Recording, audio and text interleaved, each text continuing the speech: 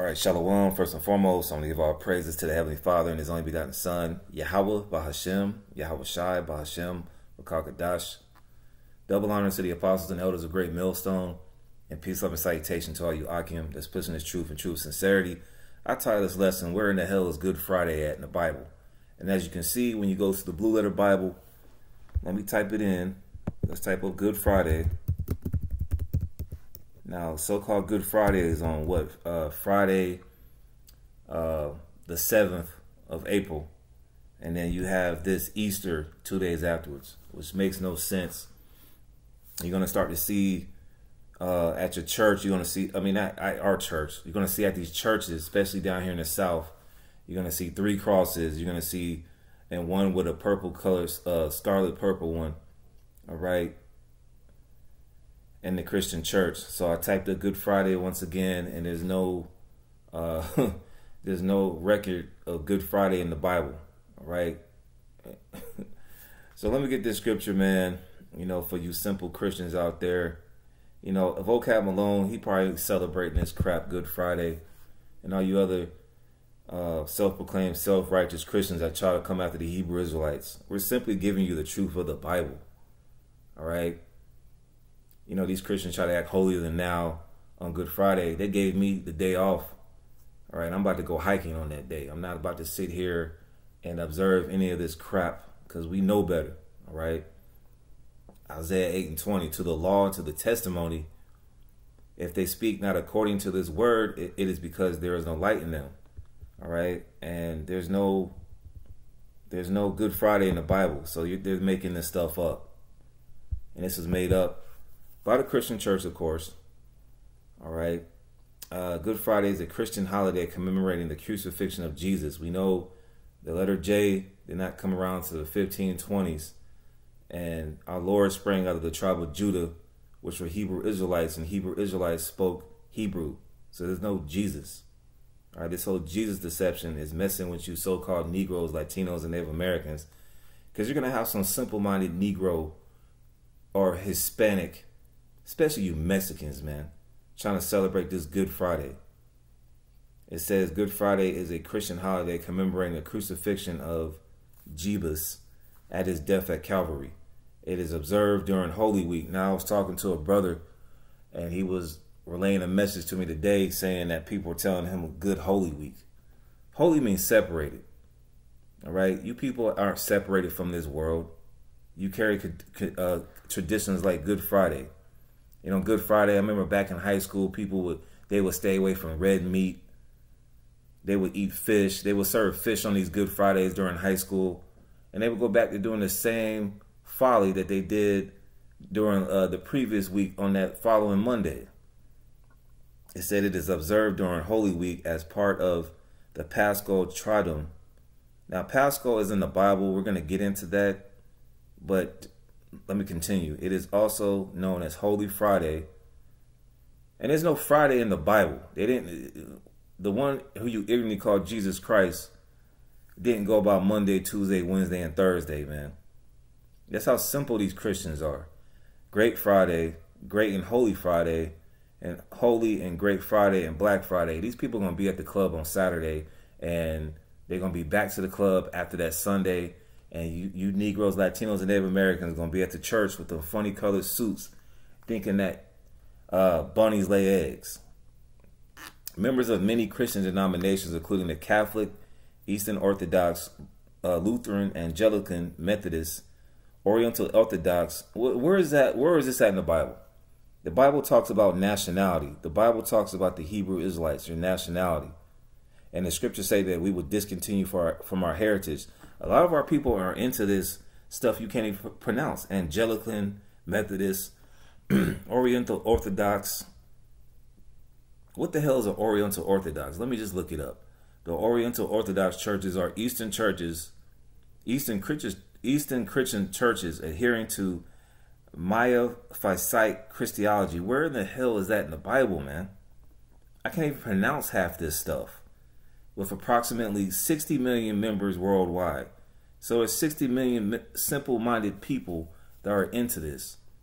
The Oriental Orthodox Church are part of the Nicene Christian tradition and represent one of its oldest branches.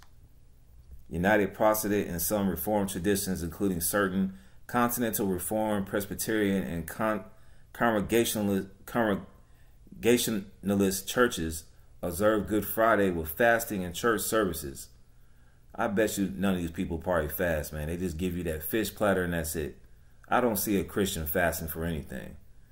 In many Catholic, Lutheran, Anglican, and Methodist churches, the service of the Great Three Hours of Agony is held from noon to 3 p.m. The time process during the time duration that the Bible records as darkness covering the land to Jesus' sacrificial death from the cross. Now we know that Yahweh Shai suffered the death on the cross for the nation of Israel, and our Lord don't look like this pale devil right here, man. Looking like Prince, or looking like a light-skinned uh, prince. They got the Lord and Savior looking like a, a sodomite, man. Our Lord and Savior don't look like that, man. You can read Revelation, the first chapter. All right, our Lord has white woolly hair, man. All right, he has he had uh, white woolly hair. All right. Let matter of fact, I'm gonna just get it right quick. I don't want to misquote it. That that is a misreputation of our Lord. They're making our Lord look like like he's some type of punk. Just keeping it straight up, man. The scriptures say our Lord was an austere man. He didn't look like a little simple Edomite, all right, who has no might. When you look at these Edomites, man, they're weak. Revelation 1 and um, 13. And if you celebrating Good Friday, man, you still simple as all hell, man. Like, and then these these are the same Negroes, Latinos, and Native Americans who got the Bible on the dashboard on or the back of the console of their car, talking about, yeah, I know, I know God, I know the Bible, but you celebrating Good Friday. All right, like I said, I got a day off. I'm gonna go hiking. You know what I'm saying? Go get some food. A brother might come with me. We're not we're not celebrating no goddamn Good Friday, man. When you go to Leviticus, the 23rd chapter, there's no Good Friday in the high holy days. All right? And even going towards the New Testament, you don't see the Apostle Peter and Apostle Paul celebrate Good Friday. When when Apostle Paul says, I must keep the feast, he's talking about the Passover. All right, and you so called Jews, you Amalekites, you have no right to celebrate the Passover. That's for Israelites, not Amalekites. So let's get back to this. Revelation 1 and 13. And in the midst of the seven candlesticks, one like unto the Son of Man, that's talking about the Lord, clothed with a garment down to the foot. All right. You know, Esau tries to paint these pictures of uh, Israelites being half naked, like that, that blasphemous picture of King David. They make King David look like a, a leprous Edomite and he was half naked. What is that? Michelangelo's painting? Michelangelo was a sodomite. All right. Esau got a lot to pay, man, for this blasphemy against the Holy Spirit. It says, clothed with a garment down to the foot and girt about the pass with a golden girdle. His head and his hairs were white like wool. This devil right here does not fit the description. All right. It says his head and his hairs were white like wool, as white as snow, and his eyes were a, as a flame of fire, and his feet like unto fine brass. Does this devil look like his feet is unto fine brass? He's pale as all hell, man. All right. And, and you know, when Yahushua gave up the spirit, you didn't have these weird looking characters right here, man. All right. What the hell is this? What what the hell is this, man? This is just common sense when you read the scriptures, man. This ain't, this lesson ain't deep. It's just common sense, man. A lot of you Israelites who are into Catholicism and is Anglican, Methodist, Eastern Orthodox don't don't even freaking read, man. All right, it's about common sense. When you have the Holy Spirit, you have a matter of common sense. You're able to divide logic. It says in his feet like unto fine brass, if as if they burn in a furnace. If you burn brass, it's going to turn dark brown. So our Lord and Savior had white woolly hair and he had dark brown skin, man. All right, he would be considered a so-called black man in this time period of age because he's from the tribe of Judah. As if they burn in a furnace, his voice and the sound of many waters. This devil right here don't look like he, he had a loud voice. He probably sounded like the uh, musician known as Prince. Uh, uh, like that. All right, so continuing on, it says, um, communicants of the Moravian Church. There's so many denominations, man. What's wrong with you Christians, man? You're always trying to get on us. You got about 15 denominations in this first paragraph alone of Christianity and Catholicism. It says Moravian Church have a Good Friday tradition of cleaning gravestones in Moravian cemeteries. Where is that in the Bible? Where is that cleaning gravestones at in the Bible? The date of Good Friday varies from one year to the next in both the Gregorian and Julian calendars. All right, and these calendars are way off. The Gregorian and Julian calendar, right? The Gregorian calendar is the calendar used in most parts of the world. It was introduced on February 24th with a papal bull and went to effect in October 1582 by Pope Gregory VIII as a modification when it comes to the Most High and counting time, there's no modifications or amendments, man. Esau, it said like it says in what Daniel, he changed the times and laws. So he went from the Gregorian calendar. Now we're under the Julian calendar, and the whole time is messed up. We could still we can be in 1999 for all we know. Speaking of Prince, he had that song 1999. We could be in 1999 2000, like Juvenile said. We could be in 1999, 2000 because this devil was jacked at the, de- the time, man. We don't know if we in 2023, man. See, this is the things that you Christians don't read about, man. And replacement for the Julian calendar, all right? Let's get this. The Julian calendar is a solar calendar of 365 days in every year, but they have a leap year, so they're adding to time. Man, we don't know what time period we in with this devil and every year with an additional leap year every fourth year.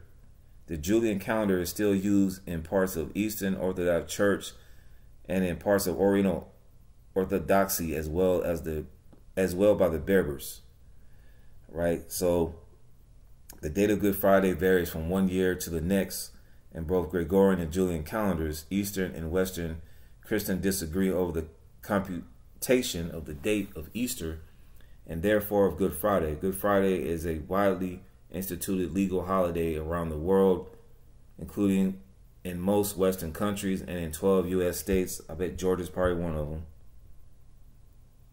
Let me see. Uh, it doesn't really say. Some predominantly Christian count, uh, countries, such as Germany, have laws prohibiting certain acts as dancing and horse riding and remembrance of the somber nature of Good Friday. So that's where you get this Good Friday from. All right, this nonsense that's not in the Bible. All right, we already got the description of Yahweh Shai. Let's let's get it. let's get another example of why Good Friday is not in the Bible. Leviticus the twenty third chapter. Let's just scroll down. All right, these are the high holy days. All right, you have the Sabbath, which we're in right now.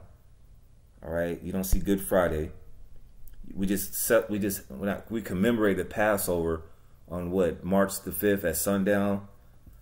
You Christians don't keep the Lord's Passover, man. And if you did, you wouldn't know what the hell you're doing anyways. You had the Feast of Unleavened Bread. All right, you don't see Good Friday nowhere.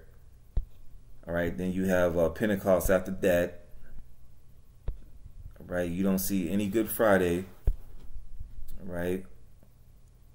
All right, you have the Pentecost, which is uh, it says uh, Leviticus 23 and 16, even until the morrow after the seventh Sabbath shall you number 50 days, and you shall offer a new meat offering unto the Lord. That's talking about the Pentecost, right?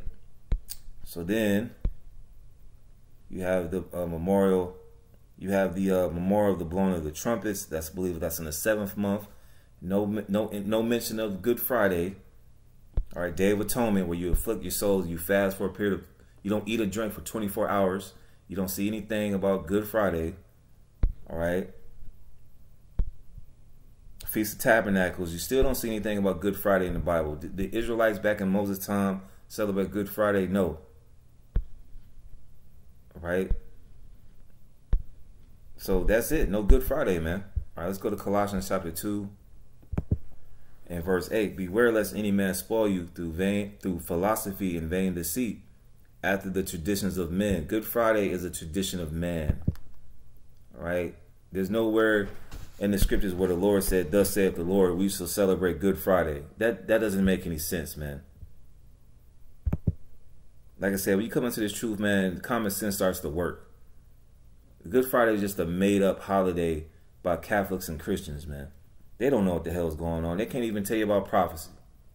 So why would you trust somebody about Good Friday, man? Like I said, I'll take the day off. I'm glad. I got one more day. Today is what so-called Wednesday. I got one more day, and I'm happy as all hell. I'll, I'll take it. You know what I'm saying? And I'm sure as hell not gonna be telling Jake at the job, yo, you know, Good Friday's not in the Bible. Let him have it. You know what I'm saying? This is for the elect. Like Elder Hawaii says, these these lessons are for the elect of the nation of Israel, man. Right? Uh, Colossians two and six, as you have received, as you have therefore received Yahweh Shai Hamashiach, the Lord, not Jesus the Christ, as IUIC says, Hamashiach Yahweh Shai the Lord. So walk you in Him. So if you're walking in the Lord, right? You know, you people say, what would Jesus do? Well, what would Yahweh Shai do? He didn't have. There was no such thing as Good Friday. All right, let's let's say for the sake of the argument, okay, after Yahweh Shai went on the cross for the elect of the nation of Israel, let's get that understood because there's many scriptures that point to salvations for Israel and Yahweh Shai laying down his life for the nation of Israel, starting with the elect.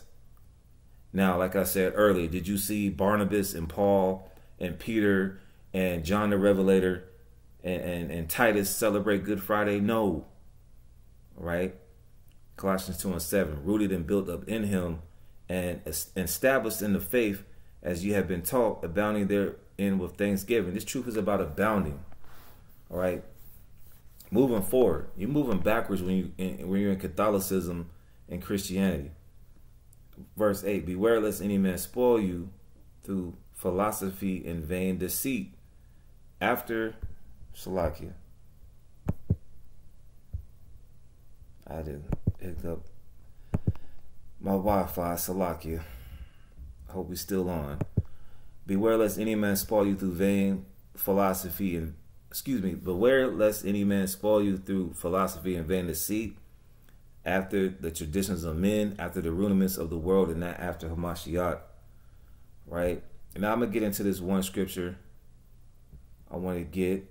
Now, you do see Easter in the Bible, but we're gonna get into that because these people are gonna go on. These people are gonna go to church with these bright yellow suits on, a, a neon Deion Sander, uh, orange uh, suits, yellow suits, all types of weird looking Steve Harvey suits. They got a DNK to celebrate Easter. I already heard the black woman talking about, yeah, I gotta boil these eggs for my kid in this Easter egg hunt. Where the hell is Easter egg hunt and bunnies lay eggs in the Bible? That goes back to heathen customs, man, like Ishtar, Astarte, these different foreign gods that we were not supposed to worship, man. So you're giving reverence to other gods when you celebrate Easter. Now let's get this definition of Easter in the Bible and break down what it really is. Acts 12 and 1. Now about that time Herod the king stretched forth his hands to vex certain of the church, and he killed James, the brother of John, with the sword. And because he saw it pleased the Jews, he proceeded further to take Peter also. And you had a lot of wicked Jews who didn't agree with Yahweh Shai, man. They're here back today saying most high and Christ blessed and we don't we don't know the Lord's name. Hint hint. Then were the days of unleavened bread. You don't you don't see anywhere Good Friday. There it was during the time of the Passover, the feast of unleavened bread. We don't eat leavened bread.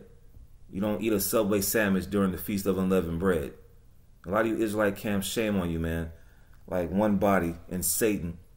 They had a Passover years ago where they had people drinking straight up beers and eating bread during the Feast of Unleavened Bread. And they had women at the Passover, man. The Passover is a solemn assembly.